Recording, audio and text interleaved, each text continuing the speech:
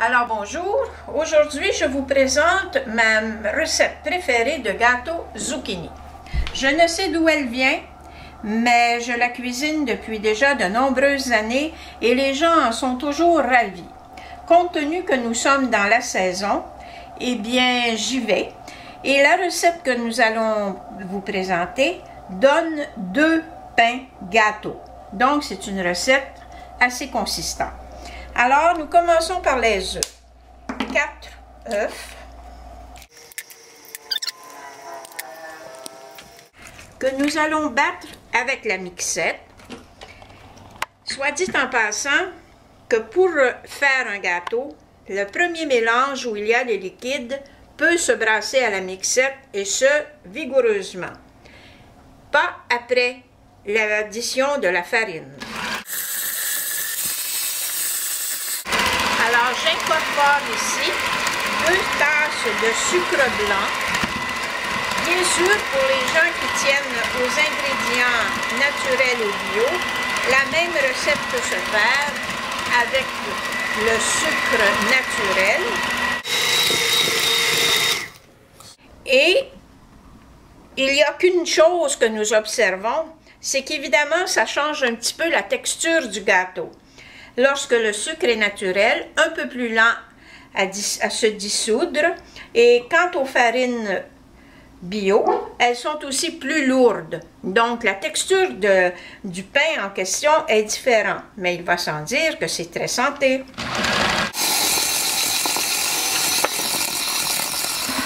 Après avoir incorporé le sucre, je vous invite à fouetter allègrement parce que c'est à ce moment-là que le sucre se dissout et que vous obtenez une belle consistance avant d'ajouter les, éléments ou les ingrédients plus lourds. Nous ajoutons aussi une tasse d'huile de canola que nous versons lentement tout en fouettant.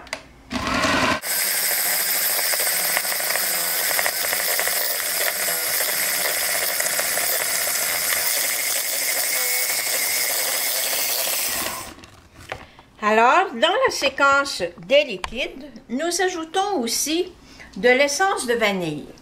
Maintenant, vous pouvez prendre bien sûr votre essence de vanille que vous utilisez à tous les jours.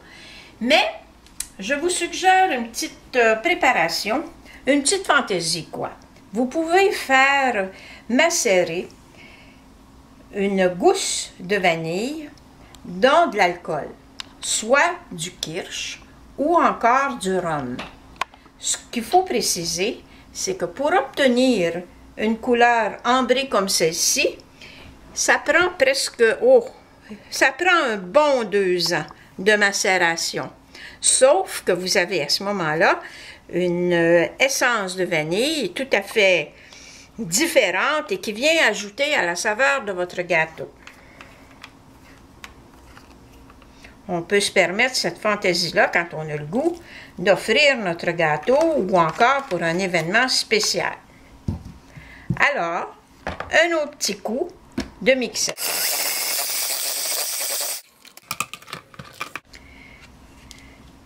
Je vous invite à, regarder comment la pâte est lisse, elle est souple. Donc ça, c'est vraiment euh, très...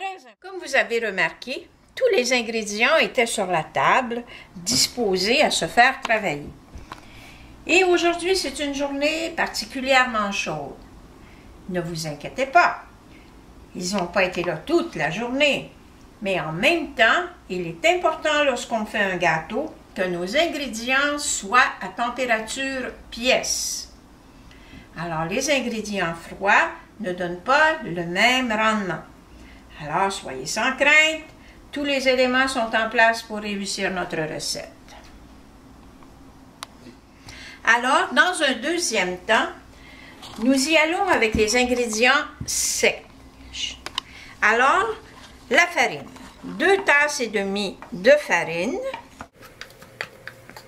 Ici, il s'agit d'une farine non blanchie qui est bien recommandée pour usage, pour tout usage. Alors voilà, vous devez ajouter une cuillerée à thé de poudre à pâte, de sel et de bicarbonate de soude. Alors, les trois éléments sont ici. Il s'agit de bien mêler avec la farine. Et voilà. Maintenant, on peut aussi y aller un peu selon notre goût. Alors, nous y ajoutons aussi un peu d'épices, à savoir de la cannelle, soit une cuillerée à thé et une demi-cuillerée à thé de noix de muscade, si vous êtes évidemment des amateurs de cannelle. Quant à moi, j'ai choisi d'y ajouter de la cardamone parce que je trouve le goût un peu plus fin et ça fait différent aussi de la cannelle qu'on retrouve dans plusieurs recettes. Alors, il s'agit là aussi d'introduire le tout dans la farine.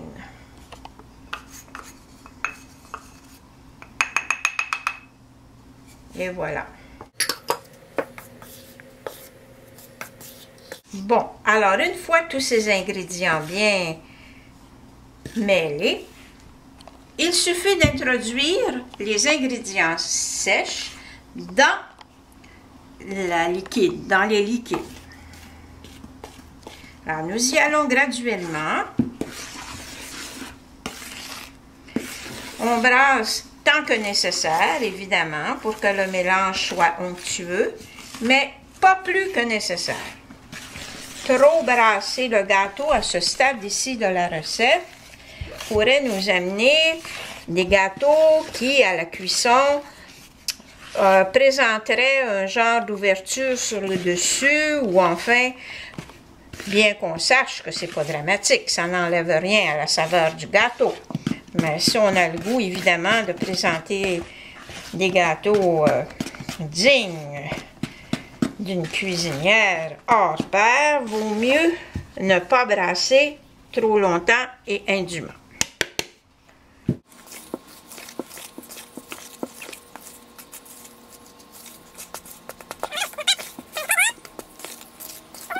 Vous doutez sans doute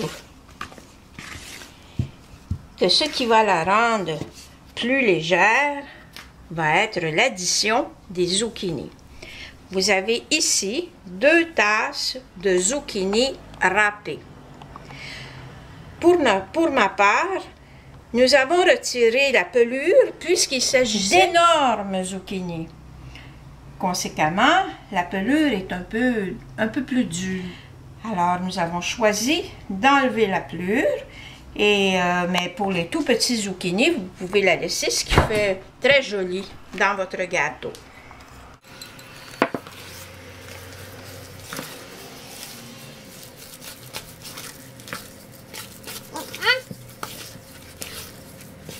Le tour est joué. Comme vous voyez, c'est un gâteau qui n'est pas compliqué à faire qui est santé. En fait, c'est un pain, forme pain. Il est délicieux tant pour déjeuner, collation que dessert. Soit dit en passant, c'est un gâteau qui se congèle très bien. Maintenant, pour le bonifier, j'aurais bien pu y ajouter des noix ou encore même des amandes. Je m'en abstiens pour celui-ci, pour la bonne raison qu'il y aura sûrement des petits-enfants qui vont en manger. La prudence exige donc de ne pas y introduire de noix, de peur que les petits s'étouffent. Mais pour les adultes, c'est vraiment délicieux d'y ajouter des noix. Alors voilà, c'est aussi simple que ça. Vous avez ici la recette vieille de plusieurs, plusieurs dizaines d'années, qui est encore très actuelle aujourd'hui. La cuisson se fait donc dans deux moules atteints. On essaie de répartir la pâte à peu près également. Maintenant, nous savons tous que les moules à gâteau ou à pain qui sont foncés ont tendance à donner un dessous de gâteau plus foncé aussi. Il faut donc être vraiment vigilant au moment de la cuisson.